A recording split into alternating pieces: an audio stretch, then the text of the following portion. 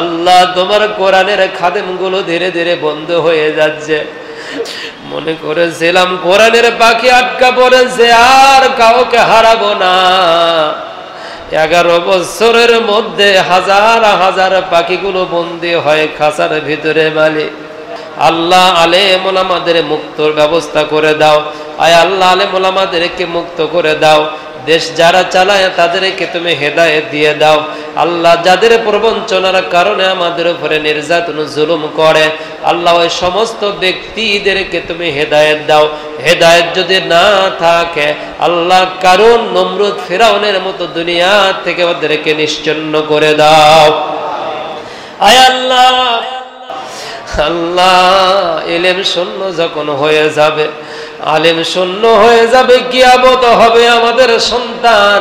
আমাদের বিবাচ্চা দিনে এলেম তারা অর্জন করতে পারবে না। আল্লাহ, দয়া করে তুমি আমাদের উপরে মেহরবানি করো। আল্লাহ, আমরা তোমার সাহায্য চাই, আমরা তোর সাহায্য চাই। রব্বুল আলামিন ইব্রাহিম আলাইহি ওয়াসাল্লামকে সহযোগিতা করেছ। ইসমাইলকে করেছ, ইউসুফ আলাই সাল্লামকে করেছ, আদমকে করেছ। আল্লাহ, আমরা তাদের আওলাদ, আমরা তাদের সন্তান আমাদের কেউ কর।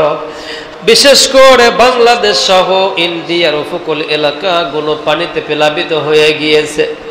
সন্তান মার কোল থেকে ভেজে গিয়েছে।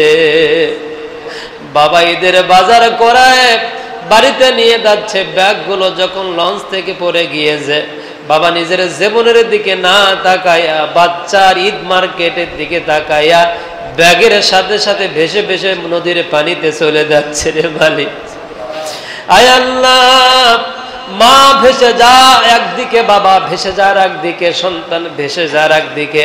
বাচ্চাগুলো মা মা বলে ডাকে, মা সন্তান সন্তান বলে ডাকে এই দিকায় পানি। মা আর ভালোবাসা, মা আর সন্তানের ভালোবাসা বিচ্ছিন্ন করে দিয়েছে। আল্লাহ দয়া করে আমাদের উপর থেকে তোমার গজবকে উঠায়া নাও। আল্লাহ আমাদের উপর থেকে তোমার আসমানে বালা উঠায়া নাও। রব্বুল আলামিন, আল্লাহ মাটির নিচে যত মুমিন, মুমিনাত, মুসলিমিন, মুসলিমাত সাহিত্য আছে, সবার রুহ মোবারক পৌঁছায়া দাও। খাস করে মেহেরবানি করে আমাদের আপন আপন আত্মীয় স্বজন, অন্ধকার কবরে যারা কবরে আজাব চিরদিনের জন্য মাফ করে দাও। রব্বুল আলামিন আল্লাহ আমাদের মধ্য থেকে যাদের মা নাই, বাবা নাই, আয় আল্লাহ ঈদের নামাজ তো বাহিরেই পড়লাম। ঈদের নামাজ পড়ে একদিন পরে বাড়িতে গেলাম, আত্মীয় স্বজন সবাইকে দেখতে পেলাম। দরদের মাকে দেখতে পেলাম না কলে যা বড় হাহাকার আল্লাহ। রব্বুল আল্লাহ ঈদের দিনে অনেকে মার হাতে সেমাই রান্না করা খেয়েছে, পায়েস রান্না করা খেয়েছে, বাবার বাজার করা খাবার খেয়েছে। আমরা অনেকে মা রান্না, বাবার বাজার করা খাবার খাইতে পারি নাই। রব্বুল আল্লাহ, আমাদের আব্বাজানের কবর আজাব তুমি মাফ করে দাও।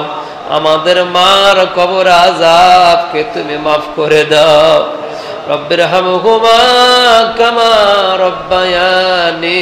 সগীর। হামহুমা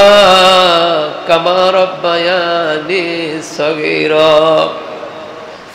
আল্লাহ মা বাবা ছাড়া কত যে জীবনটা বাড়ি দেওয়া কষ্টকর, যারা হারিয়ে ফেলেছে তারাই বোঝে রে আল্লাহ।